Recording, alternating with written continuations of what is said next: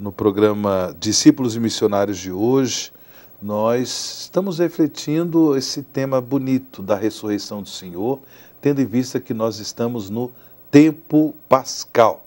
Este é o terceiro domingo de Páscoa e que nos abramos cada vez mais a graça do Cristo vivo, do Cristo ressuscitado, a vida nova que o Senhor nos concedeu por sua Páscoa de morte e ressurreição. É sobre esse tema da ressurreição do Senhor que nós conversaremos com Dom Dilo Pedro Chere, arcebispo metropolitano de São Paulo. Dom Dilo, um bom domingo para o senhor, bem-vindo ao programa Discípulos e Missionários. Muito obrigado, bom domingo também, e a vocês todos que nos acompanham neste programa semanalmente. Espero que tirem bom proveito desse programa. E já são 16 anos de programa, você já pensou? É. Graças a Deus, é claro, é verdade. Mudou de formato ao longo do tempo, mas Foi. continuou o mesmo programa. Desde 2007. Olha que beleza. 16 anos, 50 programas ao menos, 52 cada ano. Dá um bom número de programas que você pode encontrar é, naturalmente no arquivo da Canção Nova. É, são catequeses, né? Exato. momentos de evangelização. Que este momento de hoje também seja de bom proveito para todos. Dom Dilo, nesse terceiro domingo da Páscoa, o Evangelho do dia é, nos apresenta o encontro de Jesus, a, uma das aparições do ressuscitado, com os discípulos de Emaús. É um evangelho bonito, né, que São Lucas nos apresenta desse encontro dos discípulos de Emaús com o Senhor ressuscitado? Sim, é um texto muito bonito, bem, muito bem elaborado também e, cheio de significados. Né? É, os dois que é, vão embora de Jerusalém desanimados e tristes, porque, por assim dizer, né, eles estavam pensando que o sonho acabou foi bonito enquanto durou, mas agora acabou. Né?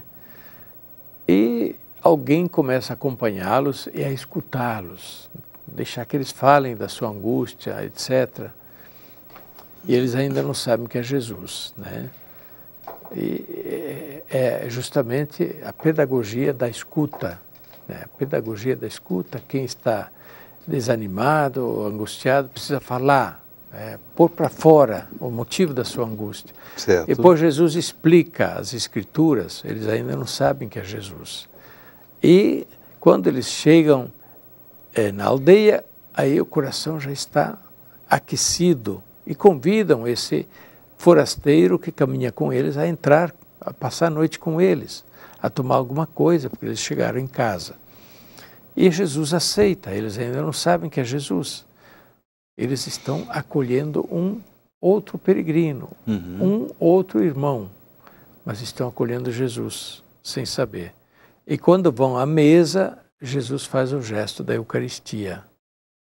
Aí se abrem os olhos deles e ah, era ele, uhum. era ele, é ele, aquele que caminha conosco e que nos conforta, nos ouve, nos reafirma na fé e que se manifesta a nós. Então, é todo um itinerário de catequese Bonito. da vida cristã, das nossas angústias ao longo do caminho, que, porém, podem ser é, desfeitos mediante a escuta de novo da palavra de Deus e que nesta palavra e na Eucaristia ele se revela. Né? Dom Dilo, é, alguns dizem que o, esse texto lucano, não é, o encontro do Senhor ressuscitado dos discípulos de Emaús com o Senhor ressuscitado, é, depois isso se tornou uma referência para a estrutura da Santa Missa que nós temos hoje, porque é, tem um primeiro momento que é a explicação das Escrituras, não é? onde Jesus ele fundamenta para eles, a partir ali da lei, dos profetas, Moisés e tal, o, é, o evento da Páscoa do Senhor. E depois temos a é, celebração eucarística, né? o momento em que Jesus celebra a Eucaristia com eles e os olhos, como o senhor disse, se abrem, os olhos deles se abrem. Seria isso mesmo uma referência para a estrutura da Santa Missa, liturgia da palavra, depois liturgia eucarística? Olha, tem semelhança, né? Não okay. sei se dá para dizer que isto é, foi a base para a estrutura da missa, eu acredito que não. Tudo bem. Porque a base da estrutura da missa é a celebração pascal judaica, né? Uhum. onde tem o anúncio, tem a palavra, tem a fração do pão, né, da ceia, comer o cordeiro pascal. Perfeito. Né?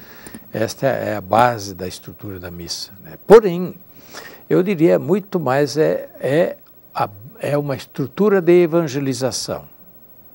É a estrutura de evangelização para quem não está evangelizado e para quem já está evangelizado, está desanimado, está triste, né? acha que não valeu a pena, que o sonho acabou, precisa reaquecer o coração. Uhum. Então, é o fato é que ele nos acompanha no nosso caminho. Ele caminha conosco, não nos deixa sozinhos. Ele se revela a nós, né? quando nós desabafamos a Ele também as nossas angústias, Ele fala se nós queremos escutar. Nós precisamos também escutar, né?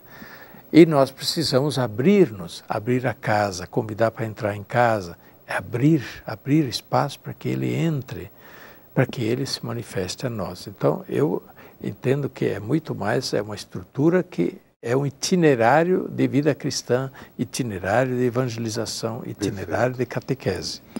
Bem, temos uma participação aqui no nosso programa Discípulos e Missionários, é a Vânia Dias, que, portanto, direciona para Dom Dilo uma pergunta. Vamos acompanhar a pergunta. Existem indulgências ao assistir à missa de domingo? Se você assiste à missa, esta é a grande indulgência. Que outra indulgência? Você participar da missa, receber todo o fruto da paixão, morte e ressurreição de Jesus, receber Jesus em comunhão. Esta é a grande indulgência, né? esta é a grande graça que, da misericórdia que Deus nos faz. Então a igreja não, não anuncia, não promete outras indulgências para a celebração da missa. Não. Ah, Existem momentos da promessa de alguma indulgência em alguns momentos específicos, mas ordinariamente a missa vale mais do que uma indulgência. Né? A missa é a grande indulgência. Né?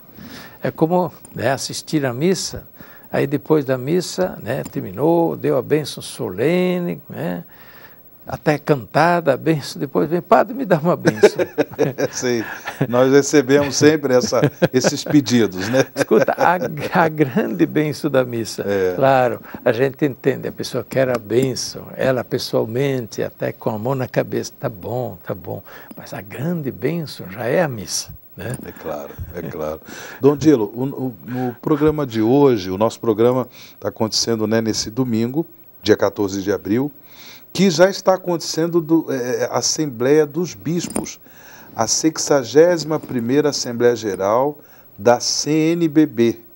Conferência que Nacional dos Bispos do Brasil. Que, conferência que reúne todos os bispos do Brasil. Exato. Que, o, qual é o significado dessa dessas, dessa reunião dos bispos do Brasil na Assembleia Geral? É, não é uma reunião de bispos simplesmente. Ok. É reunião, Assembleia do Organismo, que é a CNBB, Conferência dos Bispos. Não é uma reunião solta de bispos. É a reunião do organismo, é, que está em Assembleia. Então, é claro, estão reunidos os bispos que são membros da conferência. Né? Uhum. Né? Ora, é, os bispos, é, primeiramente, eles precisam se reunir para conversar, trocar, não só trocar ideias, mas também refletir, aprofundar, para expressar a, a, a, a corresponsabilidade pela vida eclesial, né? que o bispo, apesar de ser bispo de uma diocese, onde ele é pessoalmente responsável, ele também é, ele tem, como diz São Paulo, a solicitude por todas as igrejas, ou seja, a sua preocupação pela igreja não se esgota na sua diocese. E por isso os bispos juntos, eles falam de questões que interessam a todas as dioceses, ou a muitas dioceses, ou ao conjunto da vida da igreja. Né? E por isso essas assembleias, essas reuniões são importantes para, eh, para que os bispos possam eh, expressar a sua colegialidade. O bispo não age sozinho, ele age em colégio. O bispo não é, né, não é, não é um cantor solitário, né? Ele é sempre coral, né? expressar a sua colegialidade, a sua comunhão. E, ao mesmo tempo, o seu propósito de ação em comum, né, sobre questões que, em comum, os bispos definem, nós vamos por este rumo, nós vamos fazer isso. Além do mais, a Conferência dos Bispos, este organismo, tem competências canônicas, né, é, não é verdade, como alguns andam dizendo, que a, a conferência não, não, não, tem valor nenhum, não tem, não, não tem importância nenhuma. Tem. É só olhar o direito canônico lá, quais são as competências dos bispos, inclusive de legislação, né, de disciplina. E, portanto, sim, tem competências próprias também de zelar pelo conjunto da evangelização. Portanto, é, é, é um momento forte da vida do episcopado, mas também da vida da igreja, da igreja no seu conjunto que o episcopado representa. E, portanto, é sempre do interesse da igreja o que os bispos tratam. Eles não tratam do interesse do que é deles pessoalmente, certo. tratam do que é do interesse da igreja, das suas dioceses e da igreja toda no Brasil. Pois bem, o programa Discípulos e Missionários já está chegando ao seu encerramento gostaria de convidar você a se tornar né, um assinante da nova plataforma de streaming da Canção Nova, que é o CN Plus. Assine o CN Plus, vá lá no seu celular, seja um assinante do CN Plus, porque aí você também terá acesso a, ao programa Discípulos e Missionários que está lá no nosso streaming. É, e depois você pode também é, ter acesso a um grande acervo de evangelização da canção nova, tá certo? Dom Díris, sua palavra final e sua bênção, por gentileza. Pois não. Então, a Assembleia da CNBB já está acontecendo em Aparecida. Durante toda essa semana, ainda vai até sexta-feira. Começou na quarta-feira passada e vai até próxima sexta-feira. Vocês podem acompanhar mesmo a celebração da missa, que é transmitida para todo o Brasil. Vocês podem ver lá também o seu bispo, cada, cada diocese tem lá o seu bispo participando. É sempre um momento muito forte, rezar com os bispos. Depois tem muitas entrevistas, ouvir os bispos pessoalmente, não apenas através de filtros da imprensa, de segunda, terceira, quarta mão. Né? Ouçam os bispos pessoalmente, o que eles falam, o que eles dizem sobre um assunto ou outro. Isso é de interesse de toda a igreja. Caminhar com a igreja é também caminhar justamente com o episcopado reunido com a CNBB em assembleia. A bênção de Deus Todo-Poderoso, Pai, Filho e Espírito Santo, desça sobre vós e permaneça para sempre. Amém. Amém.